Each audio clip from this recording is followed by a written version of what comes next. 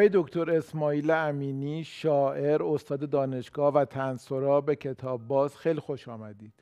سلام عرض می‌کنم خدمت شما و خدمت بینندگان محترم در خدمتتون هستم. ارادتمندم.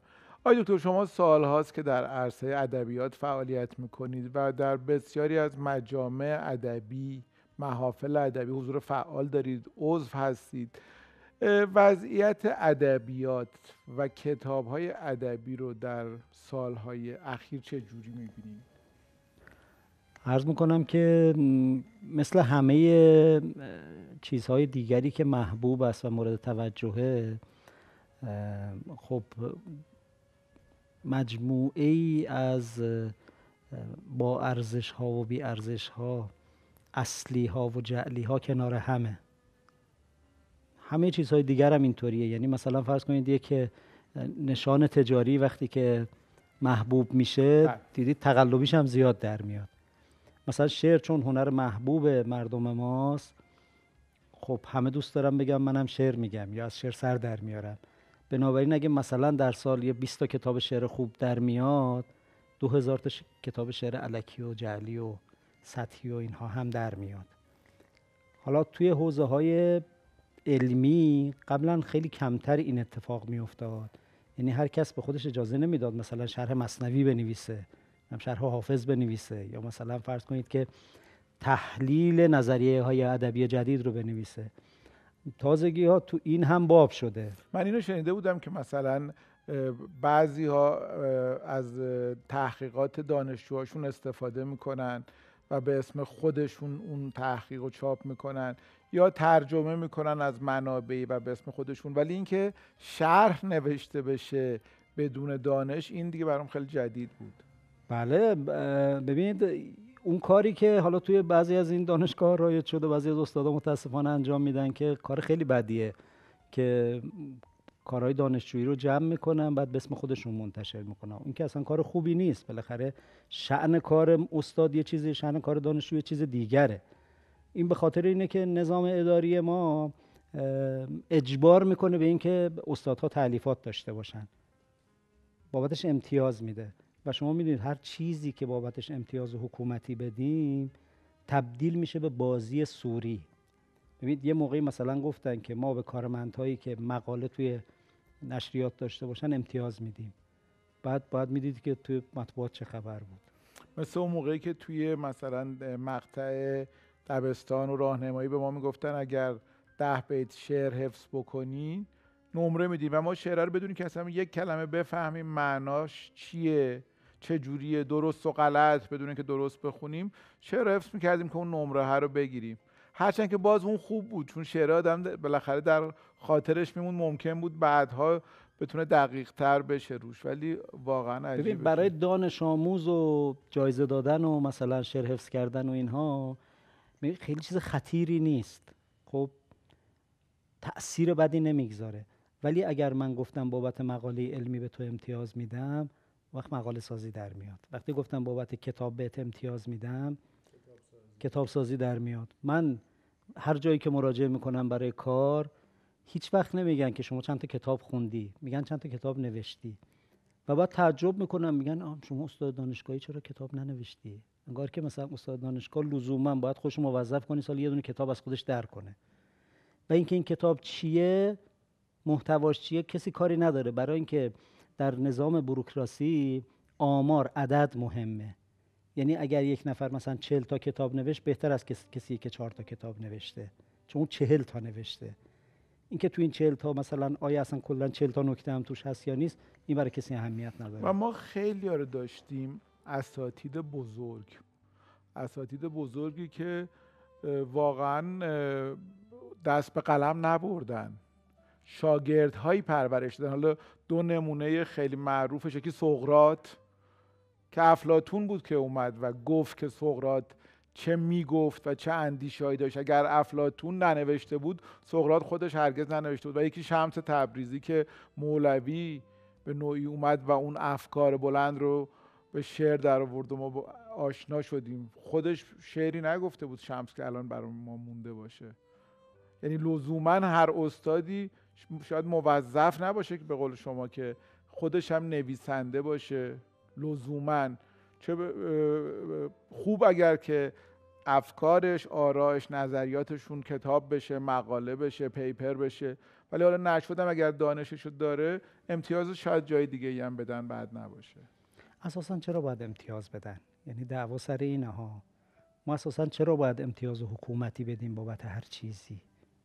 ببین اینکه مثلا اعلام می‌کنیم میگیم کسی که سه تا یا چهار تا تعلیف دارد بیاد ما بیمش می‌کنیم.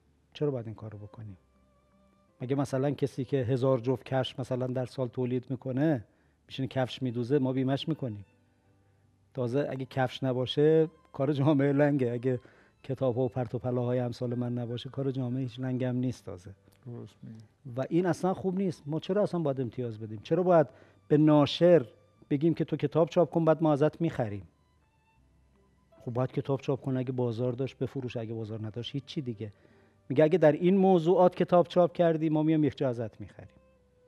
بعد معلومه دیگه ناشر میره کتاب سوری درست می‌کنه فقط برای اینکه بفروشه. یا بهت کاغذ مثلا ارزان قیمت میدیم. کاغذ چی میگن؟ یارانه ای میدیم مثلا. خب چرا الان یه کاری که خیلی خیلی متداوله و زیاد و متاسفانه چقدر هم زشت اینکه یه عده‌ای از روی کتاب های ترجمه شده همونو برمیدارن. همون کتاب ترجمه بله. شده رو. دوباره می نویسن با جمله بندی خودشون این دفعه. یعنی اصلا سراغ منبع اصلی نمیرن. اصلا شاید اون زبان بلد نیستن. اونو می نویسن با جمله بندی خودشون که خیلی وقت هم غلط قلوته و باز به عنوان یک ترجمه جدید میدن به ناشری و چاپ میشه و واقعا زیاد شده این کار. که این کار دیگه اصلا براش لغت ساخته شده دیگه. میگن متاب سازی به جای کتاب شده ساختن متاب مثلا لغت براش درست کردن. حالا کتاب های خیلی خوبی هست خیلی خوب. کتاب های خیلی خاص که تیراژا متاسفانه رو 200 نسخه 300 نسخه. یعنی اصلا آدم میگه چه جوری قراره این چرخه؟ مترجمی که این کتاب ترجمه کرده طراح جلدی که طرح زده برای جلد این کتاب.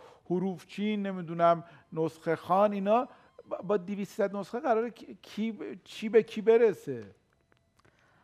ببینید اینکه امکانات جدید موجب شده است که گونه ای اصلا از توضیح کتاب باشه که کتاب رو یک جا چاپ نمی‌کنن تو بعضی از کشورها رایجه.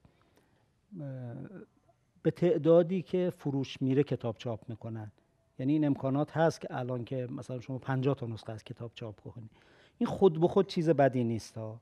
اینکه بی خودی ما کتاب چاپ کنیم یه جا بمونه توی انبار بمونه که خب خوب نیست. این خود به خود چیز خوبیه که این اتفاق افتاده. ولی یه چیز دیگر هست اون همین است که این کتاب هایی که خیلی مثلا تجدید چاپ های متعدد میشن ازشون حمایت هایی میشه. اون کتاب کتاب های خوبی نیستن غالبا. یعنی از این ورش خیلی خطرناک نیست. از اون ورش خطرناکتره. خطرناکتره برای اینکه اون آدم میگه من دارم کتاب می‌خونم دیگه خیال می‌کنه داره کتاب می‌خونه. بعد از اون حمایت می‌کنن در حالی که اون کتاب نیست.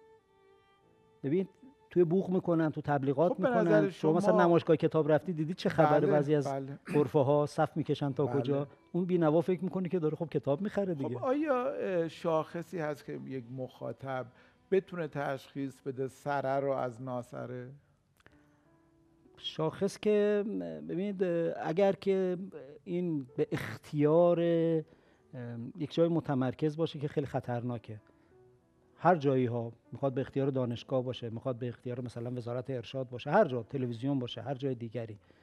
این باید متعدد و پراکنده باشه دیگه. یعنی کسی مثلا به استادهای دانشگاه اعتماد داره. میگه بله ده تا استاد دانشگاه گفتن که این کتاب کتاب مناسبیه برای اینکه مکتب های ادبی رو بشناسیم.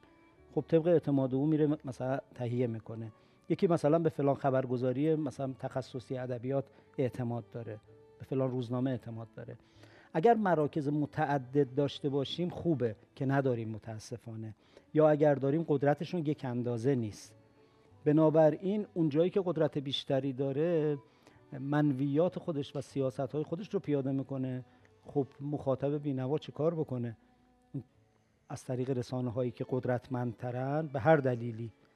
فکر می‌کنه این کتاب کتاب خوبیه دیگه. توش هم کار میشه پول مثلا جناب امینی شما خودتون از تنز پرداز ها هستید. شعر تنز در واقع می سرایید وضعیت تنز رو و شعر تنز رو چه جوری می‌بینید الان؟ عرض می‌کنم که من خب علاوه بر شعر نصرم می نویسم و خب تو مطبوعات تنز خیلی سال کار کردم. از تقریبا سالهای اول انقلاب کار کردم.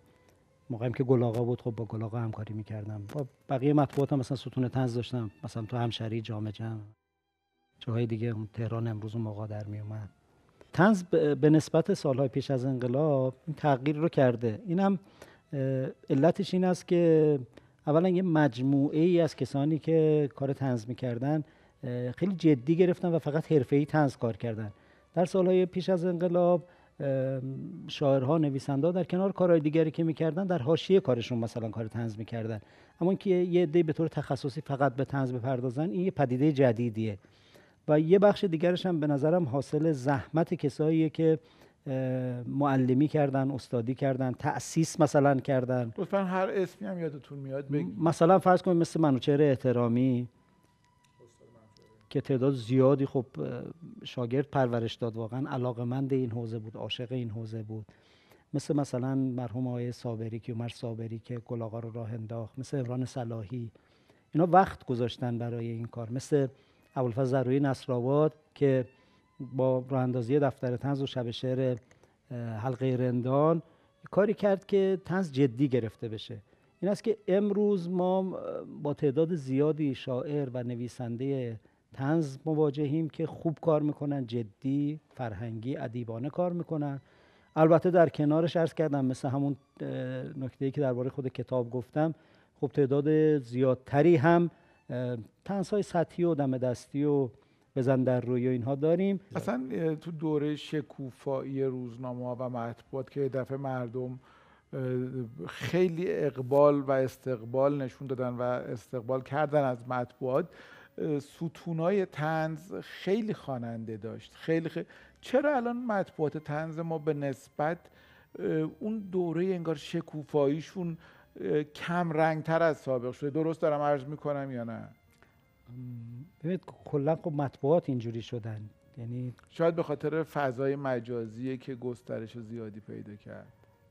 همش فضای مجازی نیست. برای اینکه خب توی کشورهای دیگه هم فضای مجازی هست. اتفاقا در دسترستر اینترنتشون هم سرعت بیشتری داره دیگه. مثل ما یه مصیبت نمی‌کشن می‌خوان یه دونه عکسی و کاریکاتوری رو باز کنن ببینن. آخه از عرصه تنز یه ذره خطیرتر هم هست. به خاطر اینکه همه ازش استقبال می‌کنن تا وقتی که برای دیگران باشه. یعنی میگن شوخی بکنید خیلی خوبه. بعد میان شوخی بکنید میگن نه با ما نه. هر کسی دور خودش یک حریم امنی می‌خواد که غیر از من با چون بعد میگن چرا؟ میگه برای اینکه خب بخش ماها داریم زحمت می‌کشیم انگار بقیه زحمت نمی‌کشن. در که شوخی شوخی دیگه. باید آدم بتونه یه جاهایی رو دست بذاره یه انتقادایی بکنه یه چیزایی رو نشون بده. ولی با خیلی اجازه شوخی. من یه روز توی خیابون داشتم برای خودم همینطوری می‌رفتم. تو ذهن خودم ها یه احوالی گرفته بودم که امینی تو الان مثلا هم استاد دانشگاهی هم داری شعر میگی هم فلان اینا. حال خوشی به خودم دست داده بود. یه دیدم یه نفر روبرو اومد اینجوری که قیافش نگاه همینطوری بی خودی ها یعنی مثلا کاری بهش نداشتم. بعد من خندم گرفت. گفت چرا میخندی؟ گفتم ببخشید من خندیدم اسخای می‌کنم. قیافه منو مگه نگفتی؟ گفت آره دیگه این چه ریختی تو داری؟ بعد رفتم. خدا می‌دونه که این رو میگم به تزویر نمیگم. گفتم خدا رو شکر یه نفر فرستادی. فهمیدی من توی ذهنم داره چی میگذره. که بگه قیافه خودت نگاهی کردی. به نظرم تنز پردازی این کارو می‌کنه. من تو خونه علیه سیگار خیلی تبلیغ می‌کردم. خب این پسر من موقع کوچیک که بود مثلا 5 6 سالش بود به شدت متنفر بود از سیگار. یه روز جمع مثلا بزرگا و ریش سفیدا و اینا تو خونه ما بودن. مجلس ختم بود به حساب. بعد یه دفعه که از این پیرمردو داره بود یه سیگار بکشه. پسرم رفت گفت سلام بابا بزرگ. گفت سلام. پسرم چه بچه با ادبی. گفت آدم حسابی سیگار نمی‌کشه. ببینید این تنز این کار رو می‌کنه ها. یعنی بقیه که جرئت نمی‌کردن میگن که آخه پیرمرد توی جمع انقدر که مثلا فشرده است سیگار نمی‌کشن باید بری توی حیات ولی هیچکی جرئت نمی‌کرد به خاطر شعنش بگه. تنز پرداز مثل بچه است. خب میره میگه. دیده, دیده باشید توی حساب پیشینه ما هستن کسانی که خودشون زدن به اون راه. مثلا مثل بهلول مثل مولا نصرالدین. زده به اون راه برای اینکه بازخواست نشه. بعد چگونه رفتار کنه؟ مثل دیوونه ها رفتار کنه ولی بر حرفشو بزنه. به شدت به تنز نیاز داریم.